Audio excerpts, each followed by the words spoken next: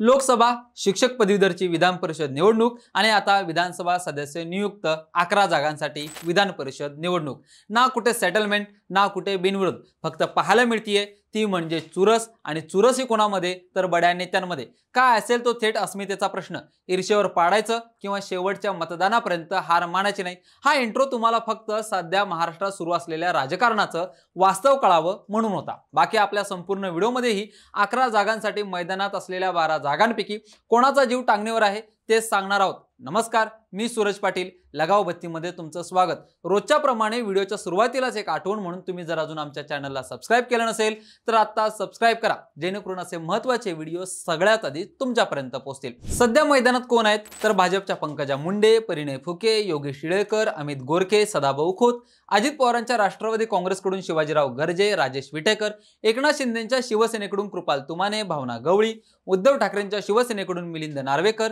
राष्ट्रवादी शरदचंद्र पवार पुरस्कृत शेकापकडून जयंत पाटील आणि काँग्रेसकडून प्रज्ञा सातव निवडणुकीच्या मैदानात आहेत. मुख्य विषयाची सुरुवात करण्याआधी एक गोष्ट क्लिअर करतो. ती म्हणजे काँग्रेसच्या प्रज्ञा सातव यांच्याबद्दल आपण या व्हिडिओमध्ये बोलणार नाही. त्याचं कारण म्हणजे सातवांना विधान परिषद जिंकण्यासाठी लागणारी मतं आहेत तेवीस आणि काँग्रेसकडे संख्याबळ आहे सदतीस. त्यामुळे प्रज्ञा सातवांचा विजय पक्का असल्याचं बोललं जात आहे इथे एक गोष्ट लक्षात असू द्या ती म्हणजे प्रज्ञा सातवांसाठी जर काँग्रेसने पंचवीस मतांची तजवीज केली असेल तर अजून बारा आमदारांची मतं बाकी राहतात. याच बारा आमदारांवर इतर पक्षातील उमेदवारांचा डोळा असणार आहे आणि याचाच उल्लेख अनेकदा आपल्या व्हिडिओच्या पुढील भागात होणार आहे. आपण आजच्या व्हिडिओत फोकस करणार आहोत भाजप शिवसेना राष्ट्रवादी उद्धव ठाकरेंचे शिवसेना आणि शेकापच्या उमेदवारांबद्दल.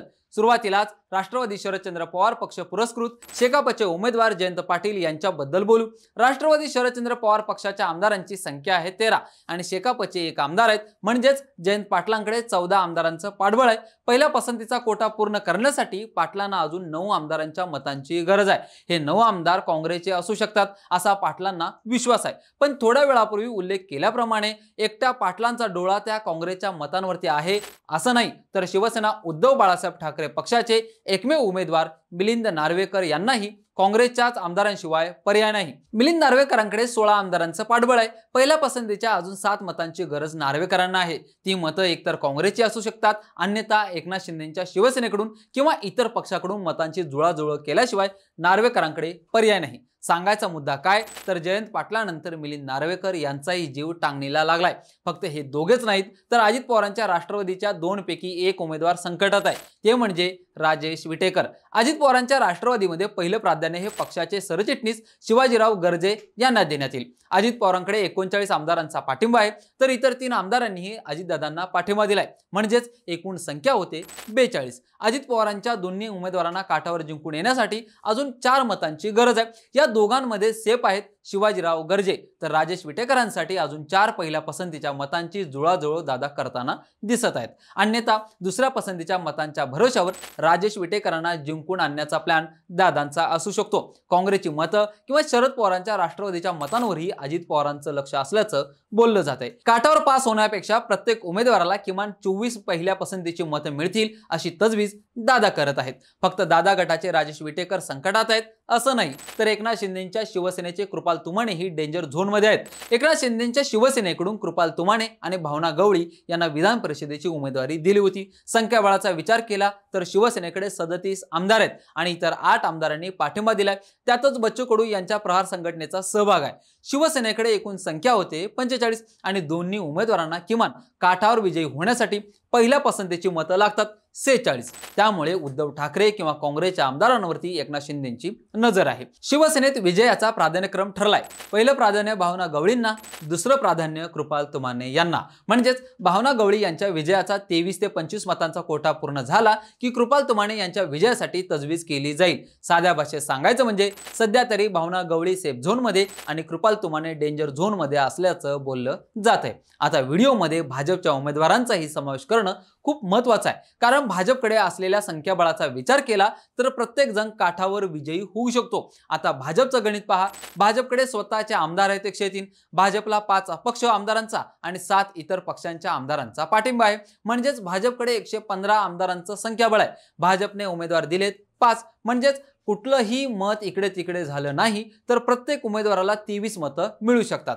पाचशे पाच उमेदवार काठावर जिंकू शकतात पण भाजप आपल्या उमेदवारांना काठावर जिंकून आणण्याची रिस्क घेणार नाही. प्रत्येक उमेदवाराला विजयी मतांच्या कोठ्यापेक्षा जास्त मतं घेण्याचा प्रयत्न भाजप नेते करताना दिसतील. भाजपने याआधीही संख्याबळ नसताना आपल्या उमेदवारांना पद्धतशीर जिंकून आणले. ते म्हणजे दोन हजार बावीसमध्ये झालेल्या विधान परिषदेत.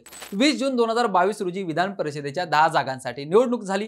भाजपचे पाच राष्ट्र राष्ट्रवादीचे दोन काँग्रेसचे दोन आणि शिवसेनेचे दोन असे एकूण अकरा उमेदवार मैदानात होते. इथं प्रत्येक उमेदवाराला पहिल्या पसंतीची किमान सव्वीस मतं हवी होती. भाजपकडे चार जागा जिंकून येण्याचं संख्याबळ होतं पण त्यांचे निवडून आले पाच आमदार. ज्यांच्याकडे योग्य संख्याबळ होतं अशा महाविकास आघाडीच्या उमेदवाराचा पराभव झाला होता. त्या निवडणुकीत महाविकास आघाडीची तब्बल वीस मतं भाजपने आपल्या बाजूने खेचली होती. त्यामुळे यंदाही तसा करिश्मा झाला तर अजब वाटायला नको. सध्याच्या गणितानुसार जरी भाजपचे प्रत्येक उमेदवार काठावर विजयी होऊ शकणार असले तरी भाजपच्या पाचही उमेदवारांना किमान पंचवीस मतं मिळतील अशी तजवीज करण्यात आल्याचं भाजपच्या सूत्रांनी म्हटलंय. आता भाजपच्या पाचही उमेदवारांमध्ये सगळ्यात सेफ आहेत त्या म्हणजे पंकजा मुंडे. दोन हजार एकोणीसची विधानसभा दोन हजार चोवीसच्या लोकसभेतील पराभवानंतर अखेर पंकजा मुंडेंना या विधान परिषद निवडणुकीत सेफ ठेवण्यात आले. भाजपमध्ये पहिला विजय हा पंकजा मुंडेंचा असेल अशी तजवीज करण्यात आली आहे. भाजपमधील विजयाचा क्रम कसा असणार आहे तेही पहा. पंकजा मुंडे परिणय फुके योगेश टिळेकर अमित गोरके आणि शेवटी सदाभाऊ खोत. म्हणजे सदाभाऊ खोत काही प्रमाणात का होईना डेंजर झोनमध्ये आहेत असं म्हटलं तर वावगं ठरणार नाही. पण भाजप त्यांच्याही विजयासाठी प्रयत्न करेल. हे नक्की. आता एका वाक्यात सांगायचं म्हणजे शेकापचे जयंत पाटील ठाकरेंच्या शिवसेनेचे मिलिंद नार्वेकर अजित पवारांच्या राष्ट्रवादीचे राजेश विटेकर किंवा एकनाथ शिंदेच्या शिवसेनेचे कृपाल तुमाने या चौघांपैकी कोणा एकाचा पराभव होण्याची शक्यता या विधान परिषद निवडणुकीत आहे. आता हा सगळा घटनाक्रम जरी आपण मान्य केला आणि त्यानुसार निकाल काय लागू शकतो याचा अंदाज लावला तरी एक गोष्ट विसरून चालणार नाही ती म्हणजे या विधान परिषदेचा संपूर्ण खेळ हा मतदान करणाऱ्या आमदारांच्या हातात आहे. वरिष्ठ नेत्यांनी जरी मतदानाची क्रम क्रमवारी सांगितली असली तरी आमदार कोणाला पहिली पसंती आणि कोणाला दुसरी पसंती देणार हे तेच सांगू शकतात. कारण या निवडणुकीत होणारं मतदान हे गुप्त पद्धतीने असतंय. यावरूनच खरा निकाल बारा जुलैला कळेल हे म्हणणं महत्वाचं आहे. त्यामुळे विधान परिषदेत कोण गुलाल उधळेल आणि कोणाचा पत्ता कट होणार हे तुम्हीच कमेंट करून नक्की कळवा आणि अशाच व्हिडिओसाठी आमच्या लगावबत्ती या यूट्यूब चॅनलला आत्ता सबस्क्राईब करा. हा व्हिडिओ शेवटपर्यंत पाहिल्याबद्दल धन्यवाद.